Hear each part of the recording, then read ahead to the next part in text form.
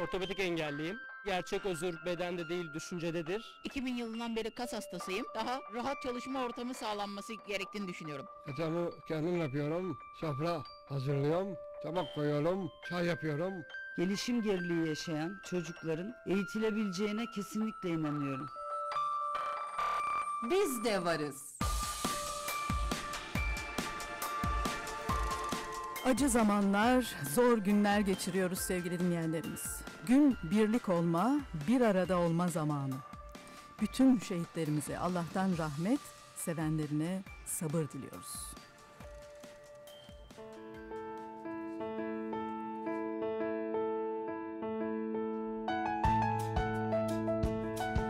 Biz de varız programı işaret dili çevirisiyle de sizlere ulaşıyor. TRT Radyo 1 Facebook sayfamızdaki bağlantıya tıklayarak ya da YouTube arama çubuğuna Biz de varız TRT Radyo yazarak programımızın işaret dili çevirisini izleyebilir, geçmiş program kayıtlarına ulaşabilirsiniz.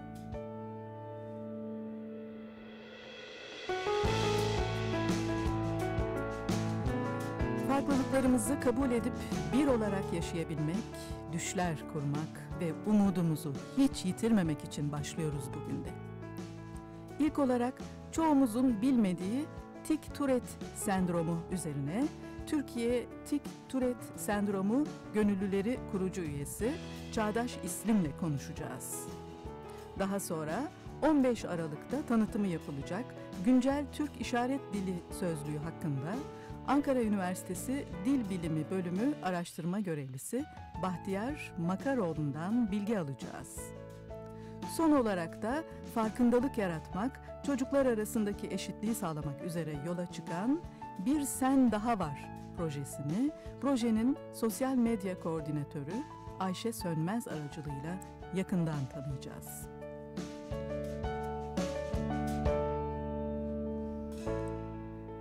Bizler program yapımcımız Seda Arslan Şavural, teknik sorumlumuz Erkan Gökçeli, teknik yönetimde Serdar Özeren, işaret dili tercümanı Emel Aksoy ve spikeriniz ben Leyla Özgür. Biz de varız başlıyor. Bir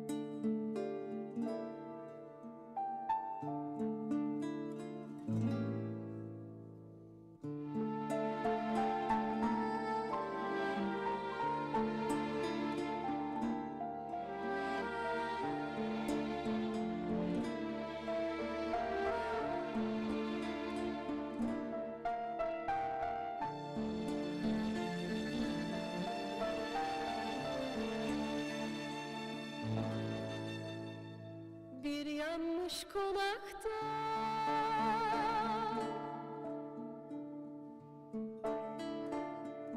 Bir kadın var orada Hala soylu Hala sır.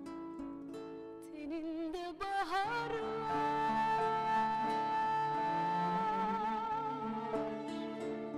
Sevdası kapkara hala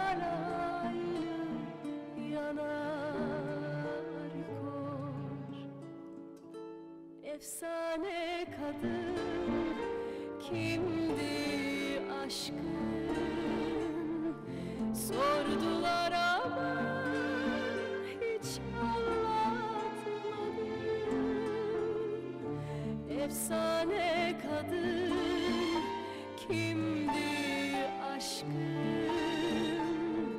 Sordular sustu hiç anlatmadı Zamansız yıllarda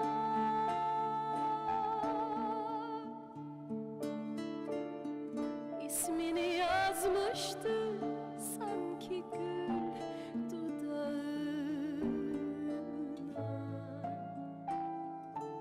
Sönse de yangınlar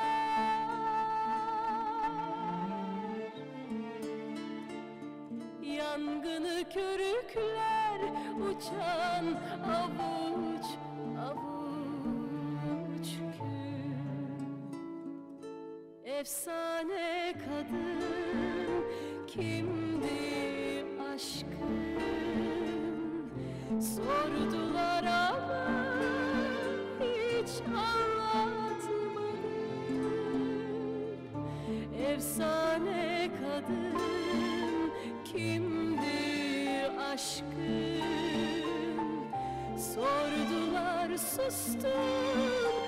hiç anlatmadım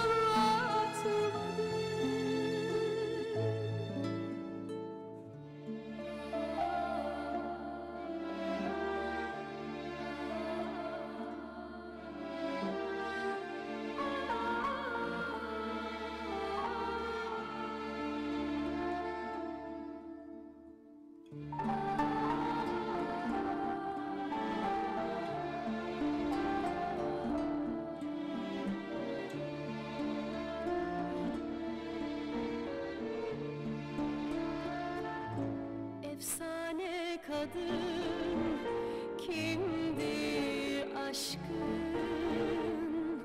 Sordular ama hiç anlatmadım. Efsane kadın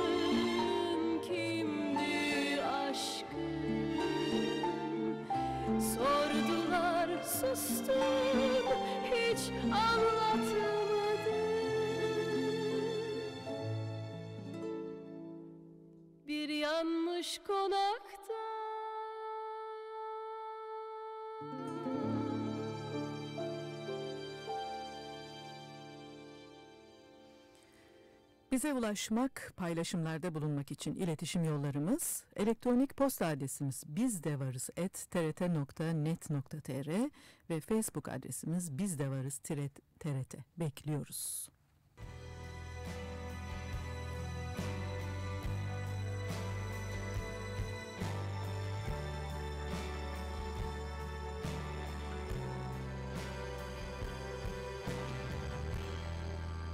Biz de varız. Her salı saat 10'da TRT Radyo 1'de.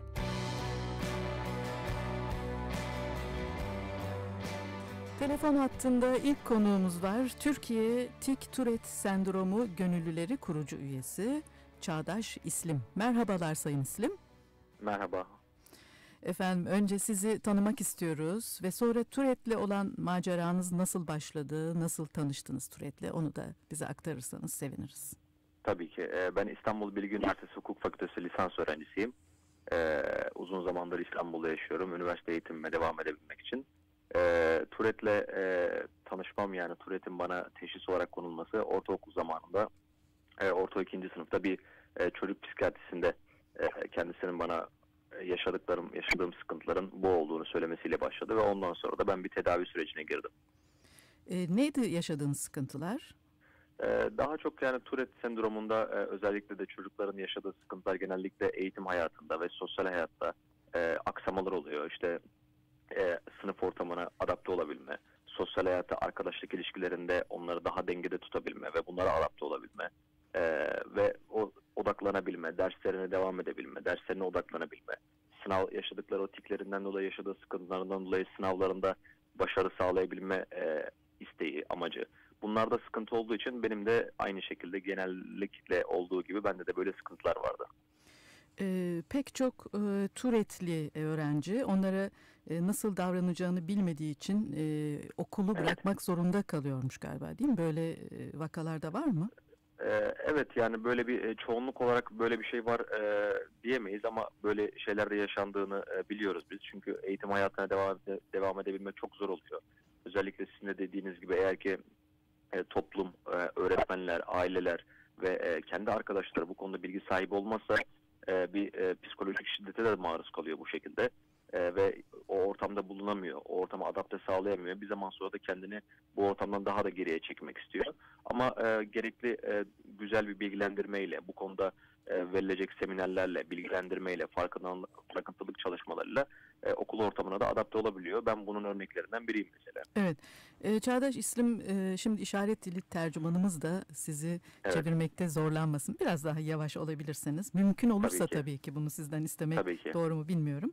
E, bu süreçte neler değişti hayatınızda? En çok hangi konularda zorlanmıştınız? Ee, Ben daha çok eğitim konularında zorlanmıştım. Ee, Çünkü eğitim hayatına bunlarla devam edebilmek zor oluyor. Ee, Çünkü e, aldığınız bazen tedavinin de etkisiyle uyku uyku sorunu çekiyorsunuz. e, dikkat eksikliği sorunu çok fazla çekiyorsunuz. E, örneğin masa başında kalmakta çok zorlanıyorsunuz. İşte mesela ders çalı sınav dönemlerinde özellikle de şu anda e, Türkiye'deki eğitim sisteminde o yaşlardaki çocukların e, sınav dönemleri çok ağır oluyor. E, ve bu ağır e, çalışma dönemleri içerisinde de masa başında 3-4 saat kalmakta çok zorlanıyordum. Sabah okula gitmekte, uyanmakta e, çok zorlanıyordum. E, bunun da dışında yine aynı şekilde gün içerisinde çok fazla e, aldığım tedavinin de biraz etkisiyle e, uyku sorunu çekiyordum. E, ve aynı zamanda da işte öğretmenlerimin işte ve arkadaşlarımın bilgisizliği dolayısıyla e, tabii bu hani kimseyi yargılamak için söylemiyorum çünkü bilinmeyen bir durum. Evet E, ve bundan dolayı da yaşadığım işte e, beni anlaşılamamak e, beni tabii ki de mutsuz ediyordu. Evet çok haklısınız. Şu anki durumunuz nasıl? Ee, hala devam eden etkiler var mı E, üzerinizde? şu şekilde e, yani Tourette sendromu ve tikleri olan e, bireylerde bazılarında yetişkinlikte yani 18 yaşına geldikten sonra azalma durumu da olabiliyor. E, bazılarında devam da edebiliyor. E, ben e, en azından e, tiklerin azaldığı kişilerden birisiyim. E, ama tabii bu herkeste böyle olmayabilir. E, ama e, Tourette sendromunda daha çok e, devam eden bendeki e, durumlar e, hani o yıllarca çocukluktan ve e, yetişkinliğe geçen süreçte işte o e, yaşanılan o sıkıntılar, uykusuzluklar, eğitim hayatına adapte olamama ve toplum içerisinde yeri geldiği zaman adapte olamamanın verdiği işte psikolojik problemlerin devam ettiği zamanlar oluyor. Ama bu e, işte arkadaş çevresiyle, aileyle, e, öğretmen bilinçli öğretmenlerle, bilinçli bir eğitim sistemiyle e, yoluna sokulabilecek e, düzeyde şu anda. Evet e, anlaşılabiliyor olmak galiba çok önemli. Evet E, kesinlikle. çünkü durdurmakta çok zorlanılıyormuş ve tikleri saklamak zorunda kalabiliyormuş öğrenciler, çocuklar. Okulda da bu çok zor olabiliyor tabii. Evet e, çünkü e, saklamak, e, e, durdurmak çünkü irade dışında olan bir şey. En önemli vurgu yapmak istediğimiz şey bu bizim kendi platformumuzda. Bir insanın iradesi dışında olan bir şey. E, hiçbir insanın bilerek, isteyerek yaptığı şeyler değil. Ve e, toplumda eğer bilgisi bilinçsiz olduğu zaman da e, özellikle de okul ortamında o çocuklar o yaşta e, saklamak istiyorlar. Çünkü onu e, yargılanmak istemiyorlar arkadaşlar ve öğretmenler tarafından. Hı Bu hı. da tam aksine e, tikleri daha da arttırıyor. Evet. Bu sendromla mücadele eden kişilerle ilgili elinizde herhangi bir veri var mı? Toplum olarak da ne kadar farkındayız acaba? Ee, ya bu sendromla ilgili mücadele eden yani mesela bizim gibi platformlar e, anlamında biz e, bir öğrenci platformuyuz. E, gönüllülük esasına dayanan çalışmalar yapıyoruz. Çoğunluğumuz e, tıp fakültesi öğrencisi benim dışımda. E, toplum olarak şu şekilde çok fazla e, farkındalık yaratılması gereken çok fazla konu, çok fazla husus, husus var. E, Tourette sendromu konusunda çok fazla farkındayız diyemeyeceğim. Çünkü e, biz e, yaptığımız çalışmalardan sonra şunu gördük. E, Birçok kimse e, hatta eğitim düzeyi yüksek olan insanların bunun farkında olmadığını, ismini hiç daha duymadığını, ilk defa bizimle beraber duyduğunu, e, hatta duysa bile yanlış anladığını bu zamana kadar ve bundan dolayı da bilinçsizlikten dolayı e, yapılan işte ayrımcılıklar, hatalar olduğunu biz fark ettik ama toplum olarak yazık ki farkında değiliz. Ama bizim amacımız da zaten e, bu farkındalığı arttırabilmek. Yurt dışına baktığımızda durum nasıl? Onlardaki farkındalık düzeyi ve e, bu hastalığın e, ana hatlarıyla e, toplumda bilinmesi. E, yurt dışında da hemen hemen Türkiye ile e, aynı bir sonuç olabilir. E, ama biz daha çok e, Türkiye odaklı çalıştığımız için hani bir e, şu anda bir veri veremeyeceğim açıkçası. Hı hı. E, ama daha çok yani yurt dışında da yine bu alanda farkındalık çalışmaları Türkiye'den daha fazla. E, ama bir oran olarak kim ne kadar farkında Türkiye mi yurt dışı mı o konuda bir e, şu anda bilgi sahibi değilim açıkçası. Peki e, Türkiye Tik Tourette sendromu gönüllüleri fikri nasıl oluştu? Kimlerle birlikte bu yola çıktınız? E, Türkiye Tik Tourette Sendromu gönüllüleri fikri e, daha az önce de bahsettiğim gibi çoğunluğu tıp fakültesi öğrencilerinden, farklı tıp fakültesi öğrencilerinden, e, farklı üniversitelerden ve e, bu ilk başta biz e, üç, iki tıp fakültesi öğrencisi ve benim e, birkaç aileye ulaşma isteğimizle bu e, oluştu. Hı hı. Daha sonra e, Profesör Doktor Yankı Yazgan ve Doktor Özlem Çakıcı'nın da e, bilimsel danışmanlığı öncülüğünde bu platformu kurma fikri oluştu. E, bizim amacımız daha fazla insana ulaşabilmek, daha fazla kişiye farkındalık yaratabilmekti. E, ama daha çok e, platform içerisinde ağırlıklı olan tıp fakültesi öğrencileri. Peki bu platform oluştuktan sonra neler değişti sizin hayatınızda? E, bu platformu oluşturduktan sonra özellikle yani hem benim e, belki benim özelimde diğer arkadaşlarıma ve bireylere, ailelere de e, Diğer bireyler ve aileler için de tabii. Ee, bu platformu oluşturduktan sonra ilk olması gereken işte bu zamana kadar e, insanların e, anlatmaya korktuğu, anlatmaya çekindiği, yargılamaktan korktuğu konular artık birazcık e, o cesaret verici bir e, hale geldi. E, hem benim için hem de diğer bireyler, aileler için. Çünkü e, ortadan en azından bir bu zamana kadar olan bir e, anlaşılamama ve çaresizlik hissi ortadan kalktı. Çünkü en azından e, bu alanda ulaşılabilecek e, bir artık bir platform oluştu diğer bireyler e, başka bireyleri tanı- tanıdı. E, bu e, sendromu yaşayan insanlar kendileri gibi olan insanlarla tanıştıktan sonra evet ben yalnız değilim bu konuda. E, bu konuda benden başka insanlar da var. E, işte hayatlarına devam edebiliyorlar veya işte herkesin farklı bir hikayesi, farklı bir sıkıntısı var. Diyerek birbirlerine de anlattıkları sıkıntılar ve hikayelerle ortak bir e, anlayış, ortak bir e, herkesin birbirini anlama platformu oldu. E, bu bakımdan da hem aileler hem bireyler e, bu alanda kendilerini yalnız hissetmediler. Evet siz de şöyle söylüyorsunuz yargılanmaktan çok sıkıldım, Evet. yetersiz hissetmekten ve kimsenin yazamadığını yazmaya karar verdim ve felsefeye başladınız sonra değil mi? E, felsefe okumaya başladınız ve yazmaya başladınız. E, yani en azından e, bireysel olarak bir e, Evet. üniversite eğitimi şeklinde olmasa da zaten hukuk eğitiminin gerekliliklerinden birisi olan e, felsefe. Felsefe benim ilgi duyduğum alanlardan birisi. Peki hukuk fakültesini e, nasıl seçtiniz? E, ben hukuk fakültesini e, bilinçli olarak seçtim çünkü Hı hı. e, yani okumayı, yazmayı ve araştırmayı seven birisiydim. E, hala da yine aynı şekilde bunun katkılarını görüyorum.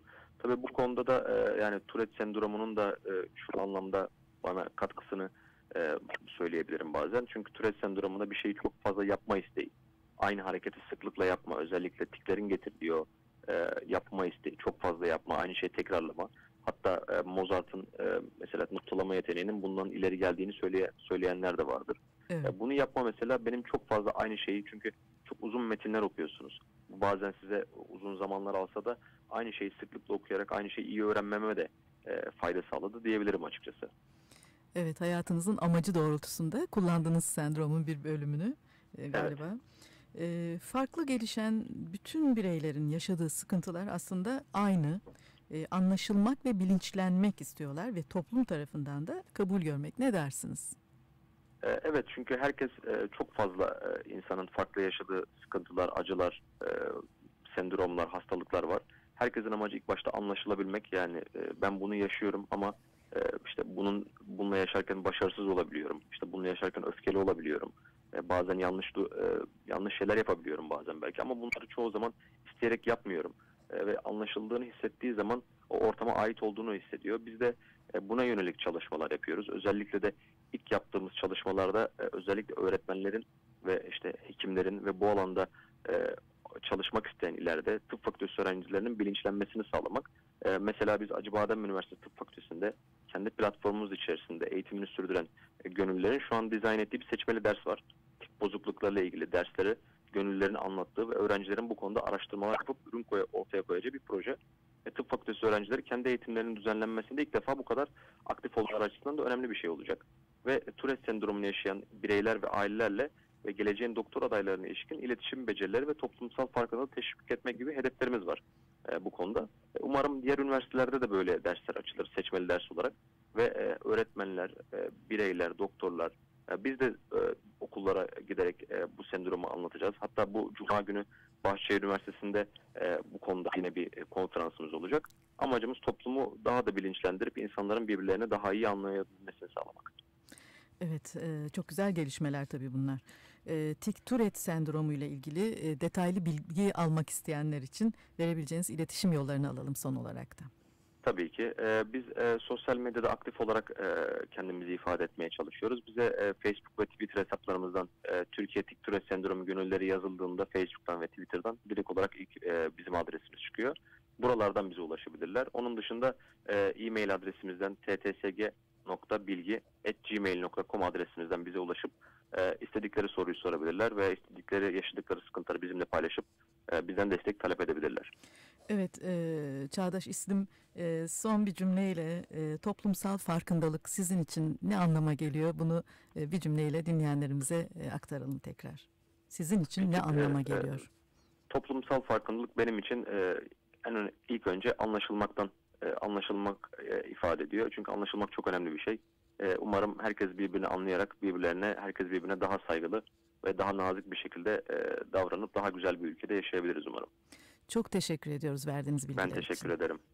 Sevgili dinleyenlerimiz, konuğumuz Türkiye Tik Turet Sendromu Gönüllüleri kurucu üyesi Çağdaş İslim'di. Ağlamak güzeldir Süzülürken yaşlar gözünden Sakın utanma. Ağlamak güzeldir. Süzülürken yaşlar gözünden Sakın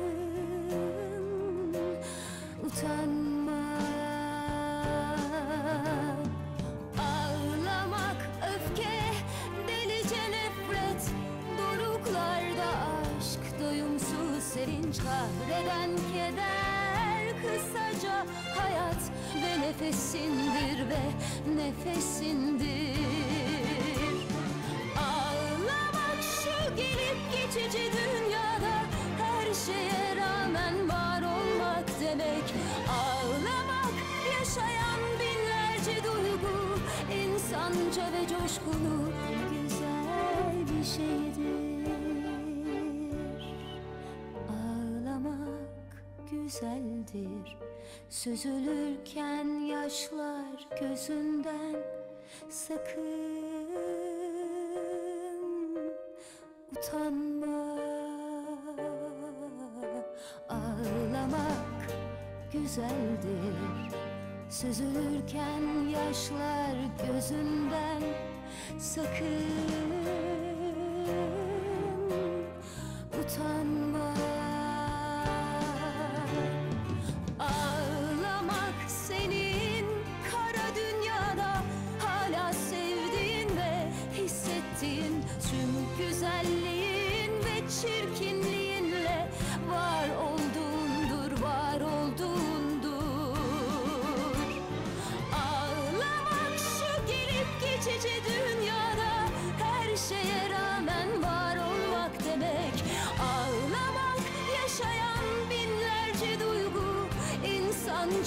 coşkulu güzel bir şeydir. Ağlamak güzeldir. Süzülürken yaşlar gözünden sakın utanma.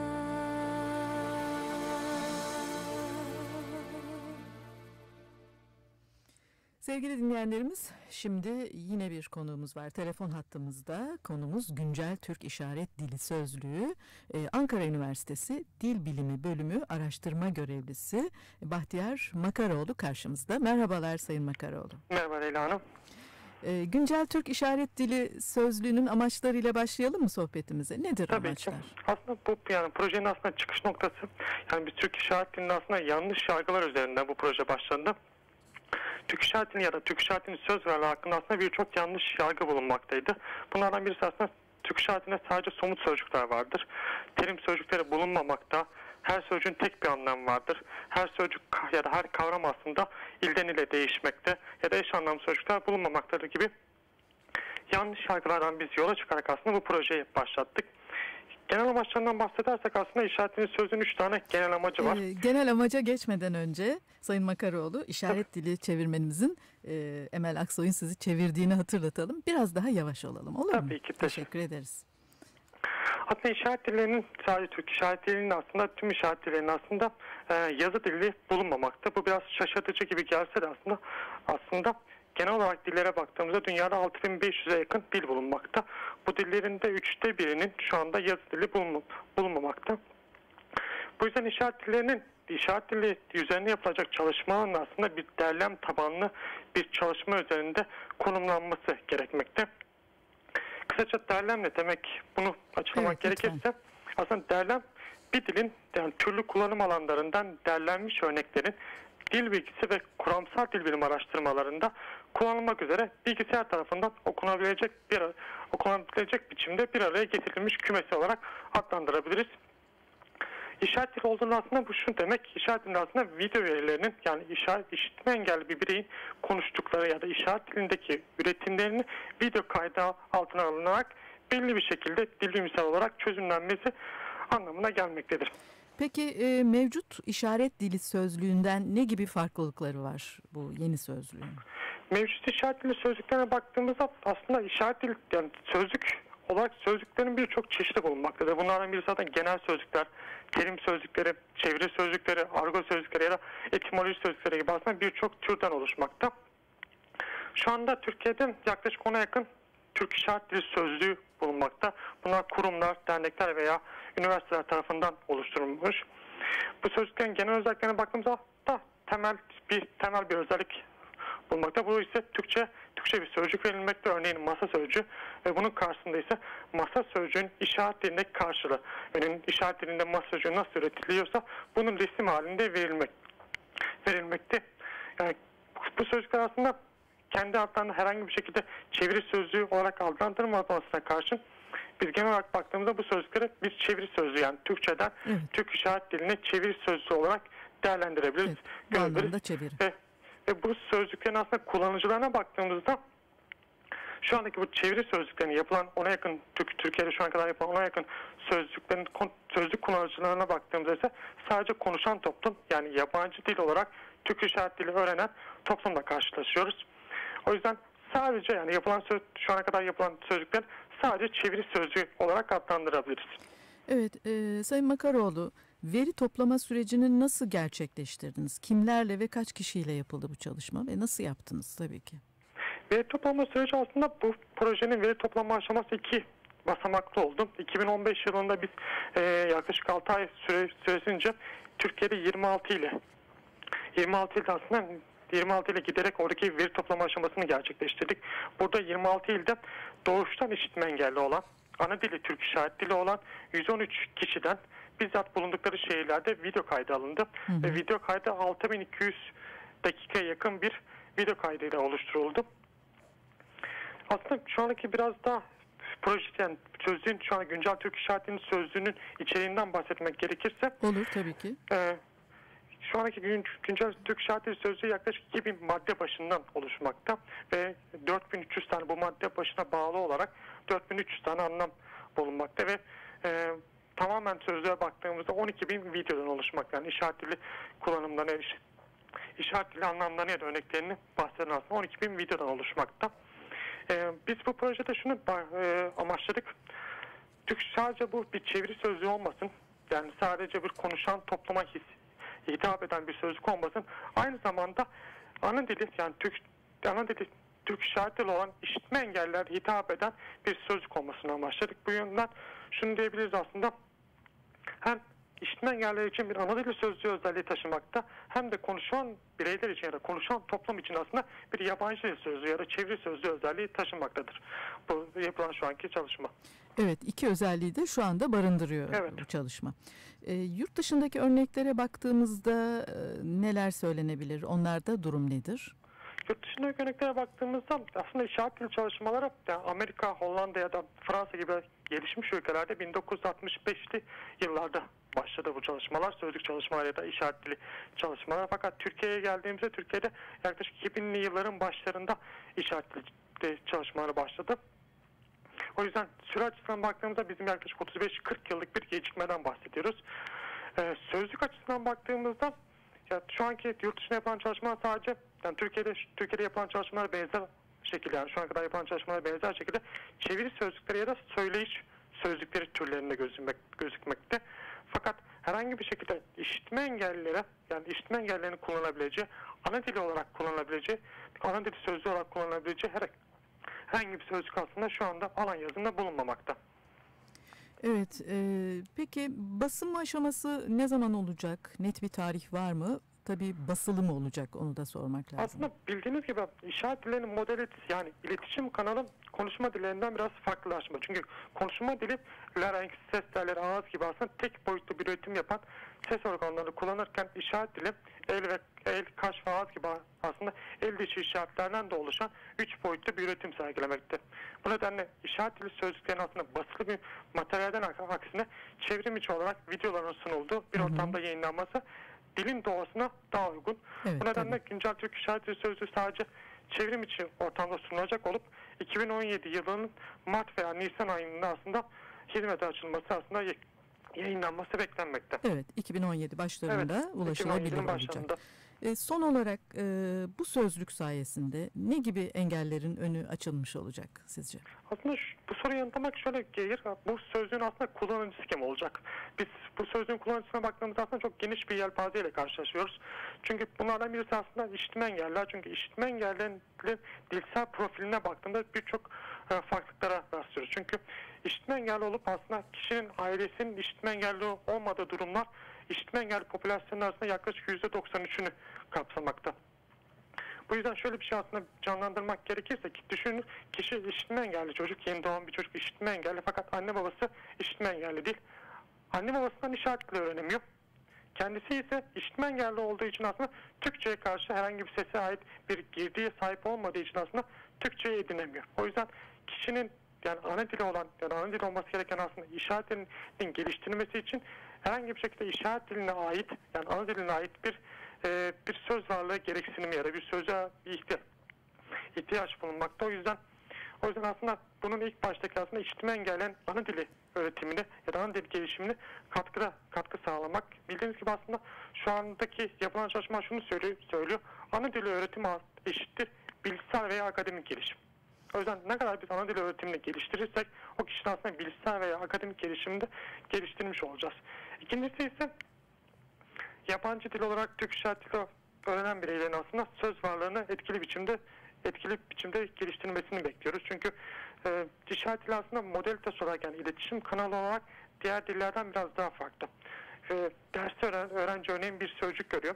Yani masa sözcüğünü görüyor fakat masa sözcüğü üç boyutlu bir ortamda yapıldığı için işaret dilinde masa sözcüğünü masa sözcüğünü yazması ya da not alması denilen bir imkan bulunmamakta. Çünkü ellerini şu şekilde açılıyor. El bel hizasına getiriliyor ve sonra sağdan sola doğru el, el şey dışa doğru yöneliyor diye bahsetmek aslında eğitim ortamında gerçekten zor bir süreç veya bir sözcüğü aslında tanımlamak işaretindeki bir sözcüğü tanımlamak çok zorluk çekmekte. O yüzden yabancı dil öğrenen bireylerin aslında sadece ders ortamında değil yani sınıf ortamında değil aslında sınıf or sınıf ortamının dışında da aslında temel söz varlığını ya da sözcüklerle ilgili Türk işaretindeki sözcüklerin sözcüklerine ilişkin bilgilerini geliştirme imkanı sağlayacaktır.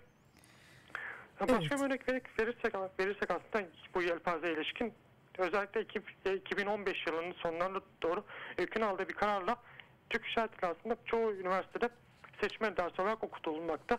Fakat bu okutulmasına karşın şu anda sözcük öğretimiyle ilgili herhangi bir şekilde kapsamlı bir e, sözlük bulamamakta. O yüzden bu sözcük yabancı olarak öğrenen bireylerin, özellikle üniversite ortamında öğrenen bireylerin sözcük hazinesini ve söz varlığının geliştirilmesini sağlayacak. Evet, pek çok amaçlara yönelik Evet. olarak bu sözlük güncel Türk İşaret Dili sözlüğü e, hazırlanmış, hazırlanmakta daha Evet. doğrusu. E, çok teşekkür ediyoruz programımıza katıldığınız Bu, bu için. konuyu aslında programda taşıdığınız için. Sağ olunuz. Konuğumuz Ankara Üniversitesi Dil Bilimi Bölümü Araştırma Görevlisi Bahtiyar Makaroğlu'ydu. Dönmek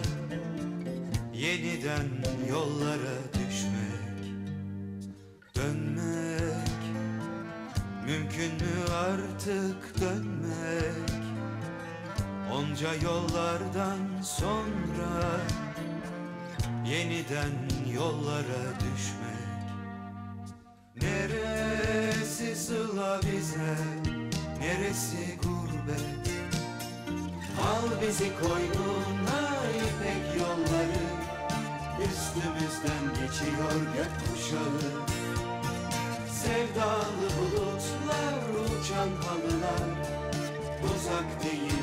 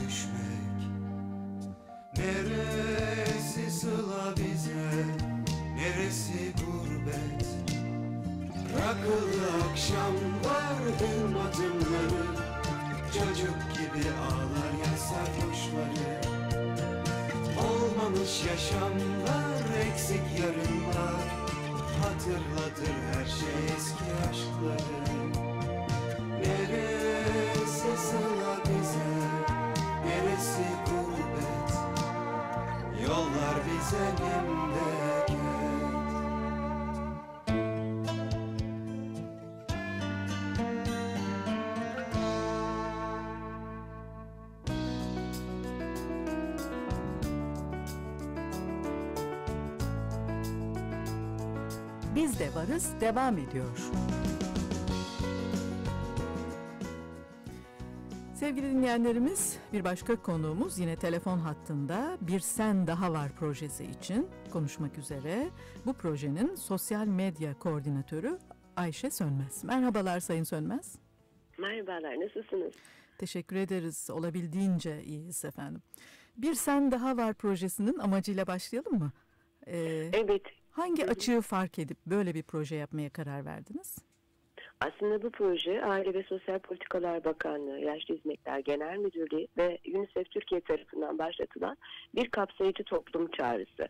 Yani engeli olan çocukların tıpkı diğer çocuklar gibi aynı haklardan yararlanmasını sağlayacak bir sosyal içerme çağrısı. Hı hı. E, projeye destek sağlamak için e, neler yapmamız gerekiyor? Ve As- daha detaylı cümlelerle bize aktarın lütfen. Tabii ki e, proje başlarken Türk toplumunda engelliliğe yönelik yapılan kapsamlı bilgi tutum uygulama araştırmaları temel alındı ve e, bu kapsam doğrultusunda da bütün vatandaşlar gereken bilgilerle donatılarak bu engeli olan çocuklarımızın haklarını savunacak birer birey haline getirilmesi amaçlandı. Bu bir e, herkesin içerisine dahil olacağı aslında özetinde şey var 1 milyon imza ile yola çıkılan bir kampanya. Herkes içerisinde olsun engeli olan ve olmayan çocuklar birlikte yaşama, aynı şartlarda yaşama hakkına sahip olsun. Ama bunun savunucusu da ve diğerleri dediğimiz ya da birlikte yaşadığımız bütün insanlar olsun ana temasıyla yola çıkılan bir kampanya. 1 milyon imza kampanyası, 1 milyon gönüllü kampanyası ya da. Peki bu projeye e, ne zaman yola çıkıldı ve ne kadar zaman daha sürecek? Ne zamana kadar devam edecek yani?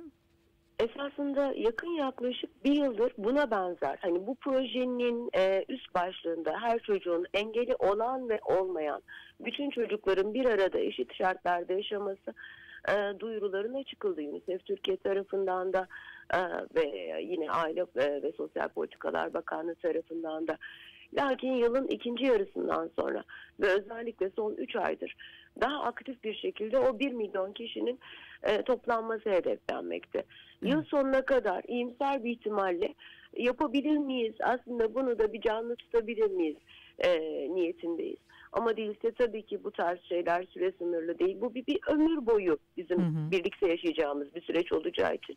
Umarım en yoğun katılımla ilk farkındalığını yaratmış olabileceğiz. Evet, e, herhangi bir maddi yardım da talep etmiyorsunuz ve sadece imza atılmasını ve toplumsal farkındalığı oluşturmayı hedefliyorsunuz galiba. Böyle doğru mu acaba bu yargımız? E- e- elbette ki doğru. Çünkü beklenti şu. e, devletler bir şeyler yapar, yolları yapar, okulları iyileştirir ya da kural koydular ya da yasalar, işte eğitimi düzenler vesaire. Bunlar aslında hani üst e, ne denir sorunlardır bizim gördüğümüz ve bizim bile hani e, zaman zaman şikayet ettiğimiz işte bu yollar nasıl böyle, şu nasıl böyle dediğimiz şeyler. Aslında bu kampanya şu, insanlar bir araya gelip birlikte düşünmeyi ve onun yerine düşünmeyi ötekileştirmeden öğrenebilirlerse bütün her şey tüm insanların ben şeyi söylemekten çok da rahatsızlık duyan bir insanım. Engeli olan ve olmayan çocuk demek. Beni biraz acıtıyor. Çocuk çocuktur. Ben de bunun karşılığı bu. Tüm çocukların eşit şartlarda e, bir arada yaşayabileceği hem fiziki hem de e, ne denir işte sosyal ortamları birlikte yaratmaları ve bu hakların kişilerin kendilerinin savunucusu olmasını sağlayacak bir kampanya. Bir maddi destek çağrısı değil, bir gönüllülük çağrısı. Ee, tamamen evet böyle. E, işbirliği içinde olduğumuz e, kurum ve kuruluşlardan biraz daha söz etmek ister misiniz? UNICEF ve e, Aile Bakanlığı dediniz. Evet. Zaten e, Aile ve Sosyal Politikalar Bakanlığı'nın e, Engelli ve Yaşlı Genel Müdürlüğü tarafından e, desteklenmekte ve UNICEF Türkiye dünya tarafından desteklenmekte ve e, hayata geçirilmekte. Biz e, şanslı kısmındayız bu projenin içerisinde yer alarak kendi kimliklerimizde hani duyurulmasına ya da var olmasına bir katkımız olursa ne şahane ne mutlu bize. Dünyada örnekleri var. Bu şey e, bir aslında bir yerde güzel bir e, sivil toplum hareketi gibi. Herkes içine girsin, herkes kendi içerisinde bunları öğrensin ve bunların savunucusu olsun. E, biraz da hakikaten şey gibi güzel düşünülmüş bir teması var.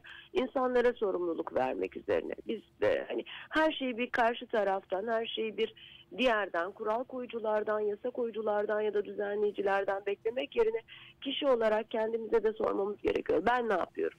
Ben neresinde duruyorum bu hayatın? Ben ne kadarına dahilim ya da ne kadarını gerçekten yaşıyorum diye. Kişilerin sorumluluk almasını da sağlayacak bir kampanya bu aynı zamanda. Evet, tüm çocukların birlikte yaşayabilmelerini amaçlayan bir sosyal sorumluluk projesi. Aynı zamanda da kendimizi de sorgulayan yanı var. Ee, bu projede yer almak, imza atmak isteyenler ne, ne yapsınlar, nasıl ulaşsınlar? Çok çok basit. Bir tane daha var. e, nokta aile nokta gov e, nokta tr adresine girecekler. Bir tane daha var zaten. Yani isminden de aslında amacı çok belli bir çalışma bu. Orada e, bir büyümelerine, birlikte büyümelerine söz veriyorum. Birlikte oynamalarına söz veriyorum. Söz verecekler. Üst başlıklar var. Ya da kendi sözlerini verecekler. Kendi sözümü vermek istiyorum diye de bir yer var. Oraya da bizim belki çok da görmediğimiz, belki çokluca olmadığı için ayrımsamadığımız herhangi başka bir şeyin sözünü de verebilirler. Ve e, çok basit e, sosyal medya hesaplarıyla girebilirler. Siteye girip başkaca hiçbir şeye gerek kalmayan, çok e, yani insanları yormayan, adres istemeyen, kimlik istemeyen vesaire. Sadece girin, sözünüzü verin. Oraya ayırdığınız zaman zaten bunun içerisine girip bunun müdahil olduğunuz zamandır kadar e, basit ve kolay ulaşılabilir. Ama e, günün sonunda da e, yani 422 bin gibi bir rakamdan bahsedilen engeli olan çocuklarımızla ilgili böyle bir rakamdan bahsedilen bir ülke için hakikaten büyük bir şey olacaktır.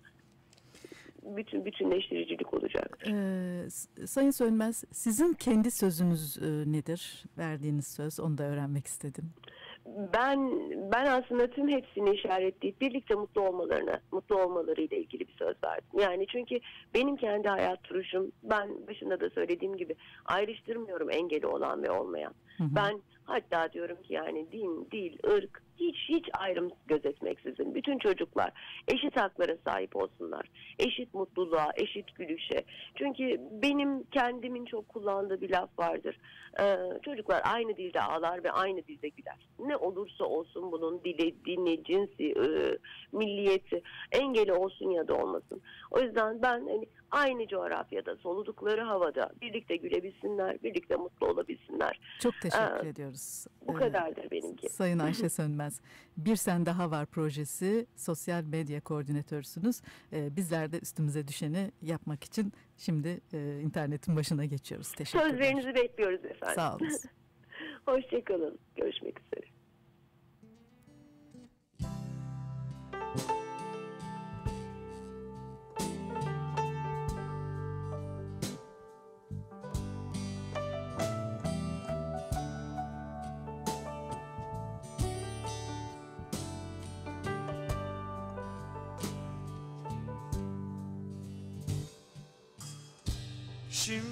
artık hiçbir şey eskisi gibi değil.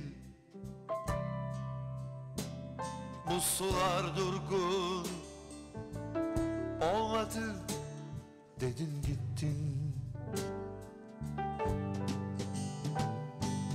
Belki de yaşamının gözlerin kadar güzel olmasını dilerim Yaşamın. Gözlerin kadar güzel olsun sevgilim. Belki de yaşamının gözlerin kadar güzel olmasını dilerim. Yaşamın gözlerin kadar güzel olsun sevgilim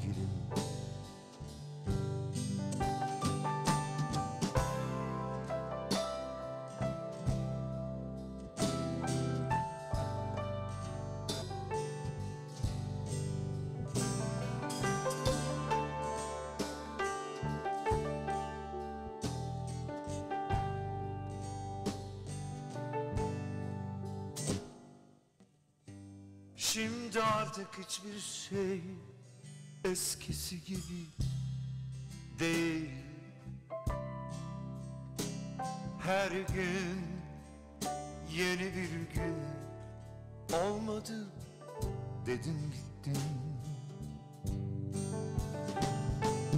Belki de yaşamının gözlerin kadar güzel olmasını dilerim Yaşamın gözlerin kadar güzel olsun sevgilim. Belki de yaşamının gözlerin kadar güzel olmasını dilerim. Yaşamın gözlerin kadar güzel olsun sevgilim Güzel düşler kurmak umudumuzu hiç yitirmemek için bizler haftaya salı 10 haberlerinden sonra yine buradayız. Siz de gelin birlikte olalım, bir olalım. Program yapımcımız Seda Arslan Şavural, teknik sorumlumuz Erkan Gökçeli, teknik yönetimde Serdar Özeren, işaret dili tercümanı Emel Aksoy ve spikeriniz ben Leyla Özgür. Haftaya görüşmek üzere.